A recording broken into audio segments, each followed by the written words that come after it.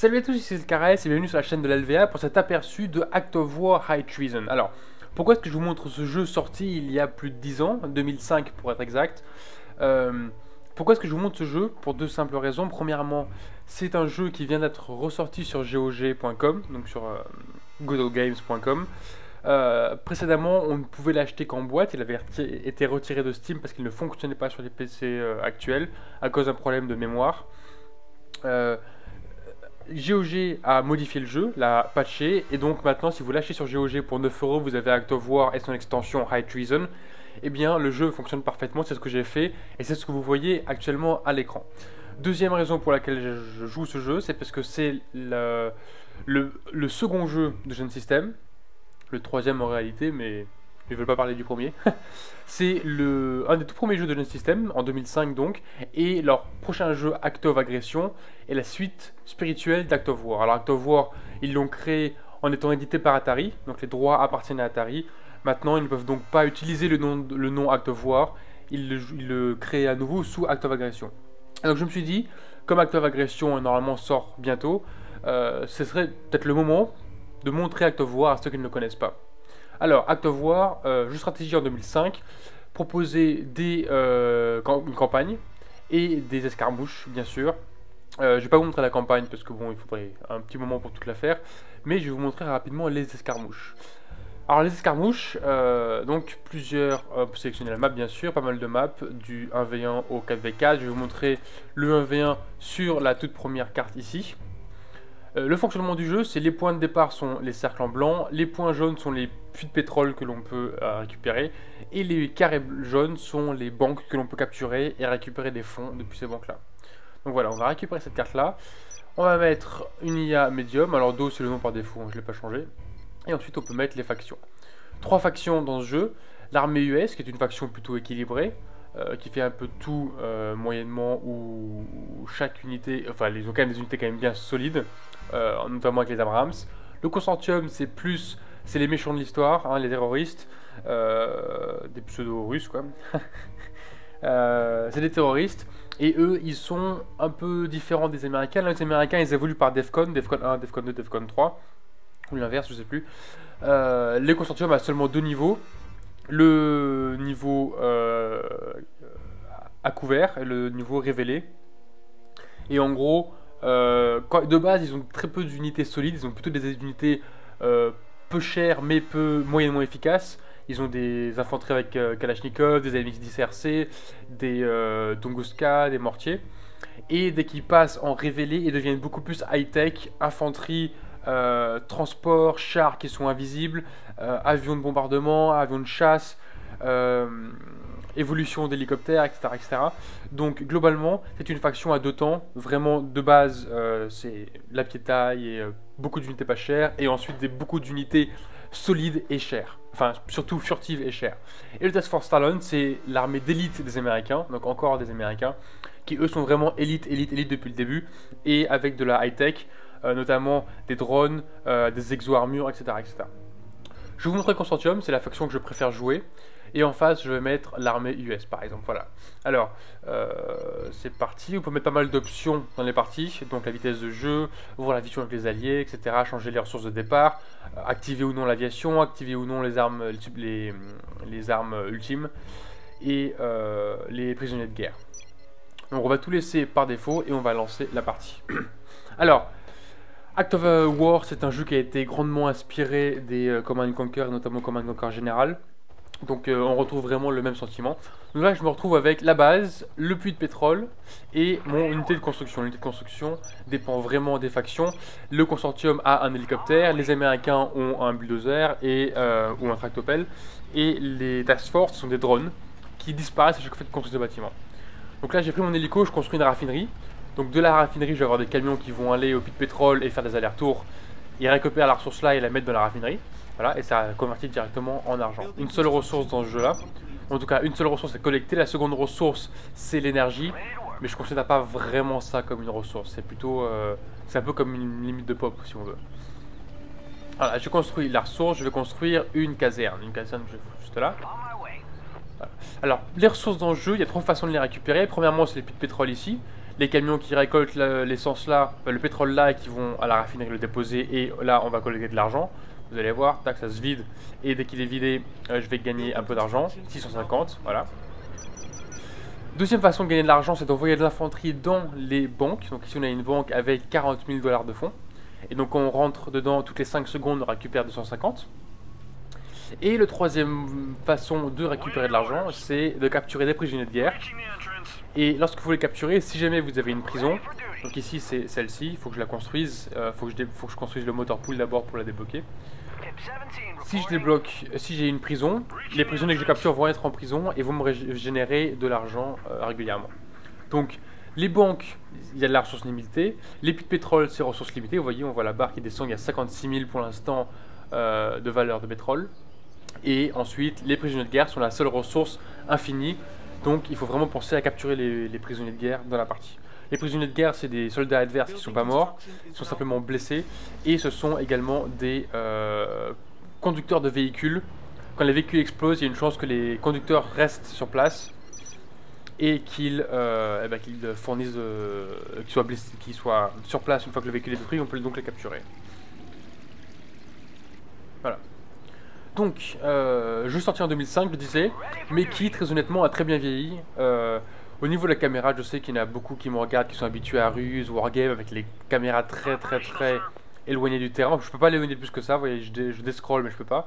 Je peux scroller, je peux zoomer jusqu'ici, mais je peux pas aller plus loin en arrière. Mais honnêtement, contrairement à des jeux comme Dawn of où j'ai vraiment ressenti le problème de caméra, ici ça reste, ça reste correct. Ça reste correct. Alors, j'ai capturé la banque. Des combats ici, vous voyez, j'ai blessé un mec. Là, je vais sortir un de mes gars. Et je vais aller le capturer. Je vais le capturer, ça va me donner un peu de pognon instantanément. 500. Et ensuite, si j'avais une prison, il serait dans la prison et commencerait à me générer de l'argent régulièrement. Donc je vais construire une prison, comme ça la prochaine fois que je capture un, il va aller là-dedans. Voilà. Alors, il faut quand même que je me prépare à une éventuelle attaque. Donc euh, les connaisseurs reconnaîtront la mise d'ICRC ici. Mes infanteries sont à couvert ici, donc elles sont en embuscade. Euh, leur premier dégât, fera deux fois plus de dégâts. Un premier tir fera deux fois plus de dégâts. Alors, les spécificités de ce jeu par rapport à un Command Conquer général que j'imagine vous connaissez tous. Putain, le bâtard. Voilà. La particularité, c'est, premièrement, comme ici on peut le voir, les véhicules les véhicules et l'infanterie ne sont pas deux états différents, c'est-à-dire vivants ou morts. Il y a plusieurs états différents. Un véhicule qui est endommagé peut ne pas mourir et donc exploser, mais peut devenir inutilisable. Donc euh, il peut juste se déplacer, mais ne peut plus tirer. Ce qu'on peut faire ensuite, c'est la rapatrier à la base et le réparer. Pareil pour l'infanterie. L'infanterie qui n'est pas à 100% de sa vie peut être blessée. Elle avancera donc moins vite. Vous verrez des, de l'infanterie clopiner, ce qui est vraiment, vraiment, euh, c'est vraiment sympa et de l'infanterie qui est peut-être ensuite soit tuée, donc là c'est définitif, soit mise hors de combat. Donc là elle se retrouve à genoux ou allongée par terre. Et euh, cette infanterie-là peut être soit capturée si c'est l'infanterie adverse, soit euh, guérie, enfin soignée. Donc pour soigner c'est simple, on a un véhicule de soins ici qui vient pour cette faction avec la prison. On clique là et on va sélectionner l'endroit où on veut soigner, elle va venir là et soigner dans la, dans la zone. Donc plutôt intéressant. Je vais commencer à faire des véhicules quand même. Voilà et de l'infanterie missile. Pour éviter de me faire défoncer, voilà, ils vont m'attaquer par derrière, je le sentais venir celle-là. Là, je vais me faire fumer. Donc les camions, hop, on se replie. Il me faut de l'infanterie. Il est où mon constructeur? Il est là.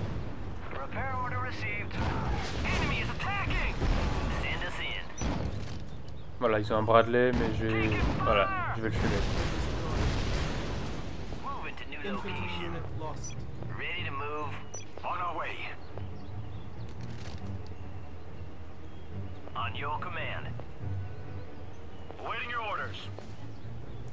Je vais envoyer plus d'infanterie dans la banque pour la protéger.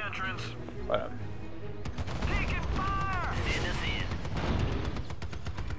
Je vais faire lui, je vais le prendre là et je vais les capturer ces mecs là. Il y a deux, deux unités à capturer.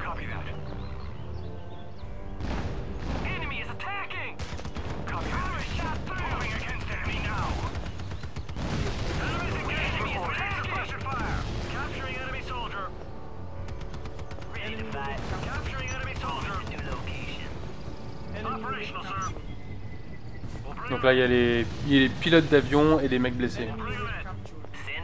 Donc là, je capture toutes ces troupes. Et là, elles sont toutes dans la prison. Prison, donc, qui me rapporte de l'argent régulièrement. Alors, autre truc sympa avec les prisonniers, c'est qu'on peut libérer un prisonnier contre de l'information.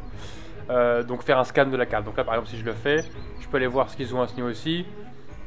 Une base, donc là c'est pareil, c'est leur euh, hôpital, le bâtiment de véhicules légers, la caserne, raffinerie et les trucs d'énergie. Voilà, parce que les Américains utilisent de l'énergie. Moi, j'ai pas besoin d'énergie quand je suis à mon niveau 1 de base. Alors lui, il va revenir récupérer des ressources. Voilà. Moi, j'ai réussi à survivre à cette attaque. Je vais refaire dans l'infanterie ici. Là, je vais faire ça pour laisser plus de blessés sur le champ de bataille. Donc plus de mecs à capturer. Ce qui est plutôt intéressant. Donc là, je commence à être pas mal. Euh, je vais refaire un peu des unités. Mon constructeur, il est là. Et je vais aller commencer à faire des hélicoptères. Voilà. Et en parallèle, je vais évoluer au niveau 1. Donc révéler. Et je vais commencer à harceler aussi. Est-ce que j'ai quelques troupes? Ouais. Envoyer ça et de l'infanterie.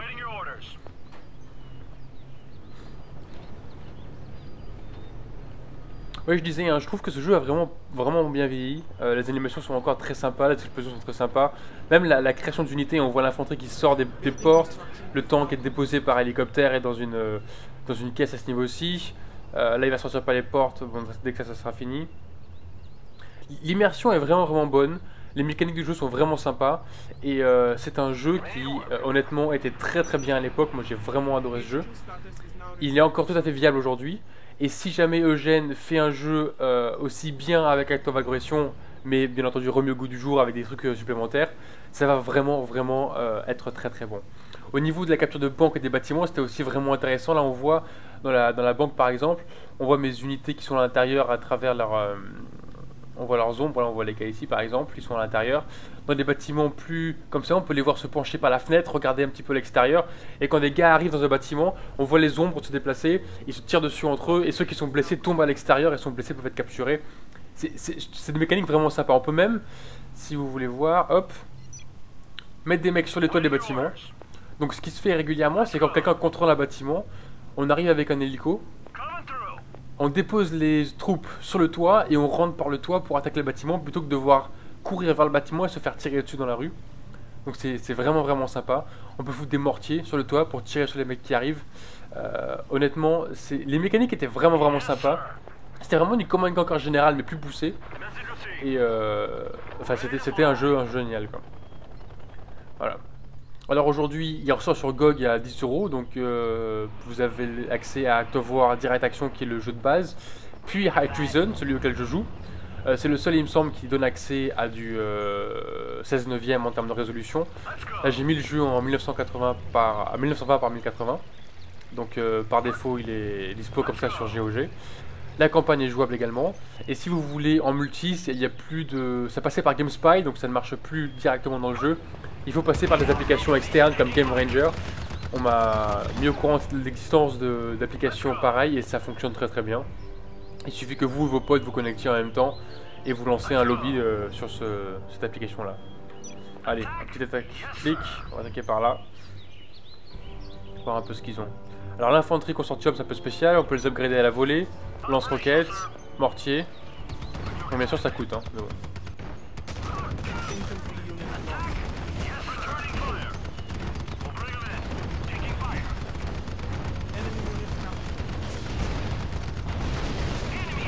les mortiers qui tirent, les roquettes qui tirent, mon tank qui explose. Bon là je m'écrase pas trop. Hein. Je, laisse, euh, je laisse regarder.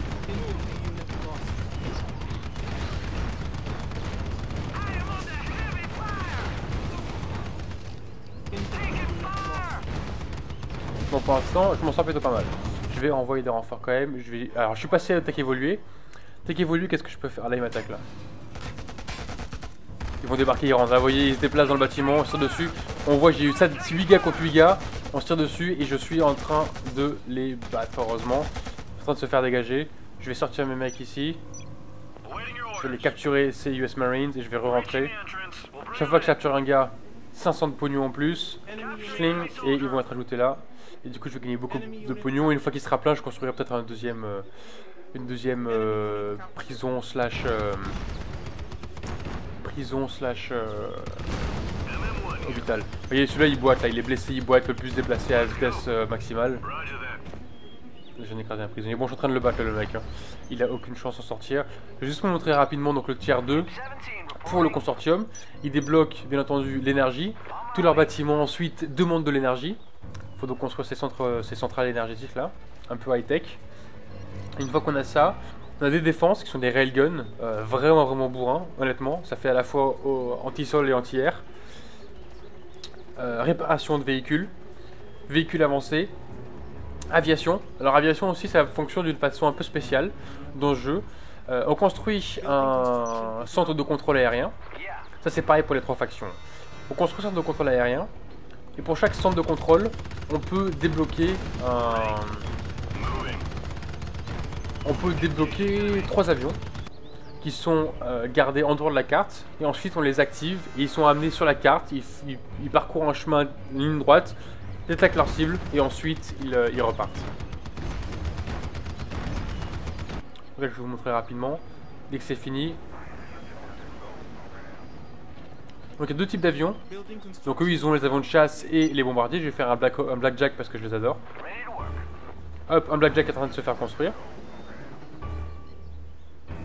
En attendant je vais vous faire un véhicule avancé. Hop, voilà.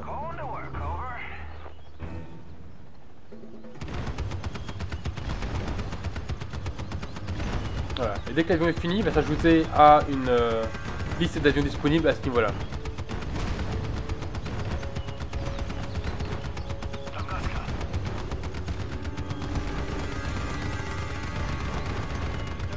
Voilà.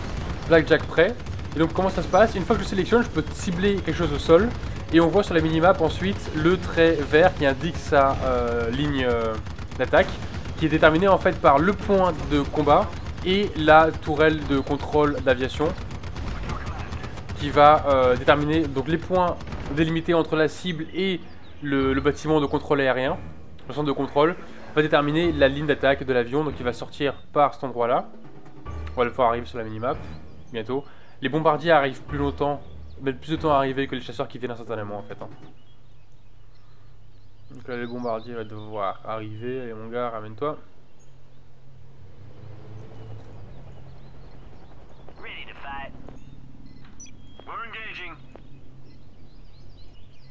Je l'ai bien envoyé. Hein.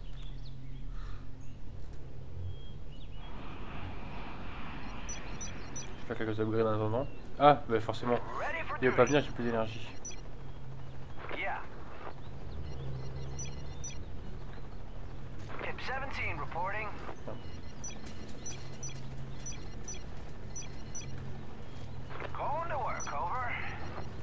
Et ensuite, comme dans tout jeu de stratégie euh, un peu old school, on a les euh, armes ultimes. Donc là, c'est euh, il fait tomber un satellite sur la base adverse. Et ce qui est bien dans ce jeu-là par rapport au Command Conquer, c'est qu'on a l'anti-arme ultime. Du coup, si quelqu'un construit son arme ultime, que ce soit le, gros canon, le, gros canon des Task Force les nucléaires des Américains ou le satellite des consortiums, on peut contrer ces armes ultimes. Donc c'est plutôt efficace ça évite de se faire anéantir dès qu'il y en a un qui construit euh, de leur arme. le bombardier qui passe, on voit son ombre ici, on le voit sur la minimap. Si je clique dessus, je vais sur lui. Et là, c'est toutes ces bombes, il va larguer toutes ces bombes euh, sur la cible.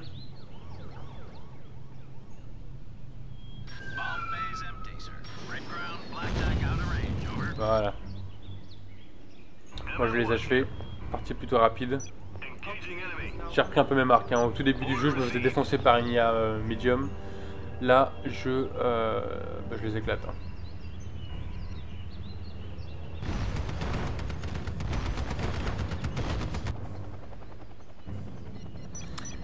Le véhicule tiers 2 chez le consortium, qu'est-ce qu'on a? On a les euh, Acula, donc des véhicules euh, invisibles, tant qu'ils ne tirent pas, des jeeps invisibles, de l'artillerie et de l'infanterie invisible. Voilà. Vraiment, vraiment efficace. C'est vraiment, comme je disais au début de partie, c'est vraiment les mecs à Kalachnikov, des petits véhicules euh, à MSI bon bah, on sait bien dans la réalité c'est des petits véhicules à roues, c'est pas très blindé. Les Tunguska c'est efficace, mais ça reste vraiment du, euh, on va dire normal entre guillemets, c'est vraiment au tiers 2 qui est des moyennes élites. Mais du coup il leur faut de l'énergie, il leur faut euh, des éléments un peu plus, plus de contraintes pour pouvoir tout déployer. Donc voilà les bases d'Act of War, j'ai bientôt plus dans la banque. J'espère que vous avez aimé. Je ferai probablement quelques vidéos si je me fais des parties en multi avec des potes. En tout cas, n'hésitez pas à poser vos questions. Euh, le prochain jeu Act of Aggression sera basé sur ce jeu-là. Euh, les, mécaniques de base seront similaires. En tout cas, l'univers est très très proche. Donc ça vous donnera un aperçu de ce qu'on pourrait attendre plus ou moins dans Act of Aggression. Merci d'avoir regardé et à très bientôt. Salut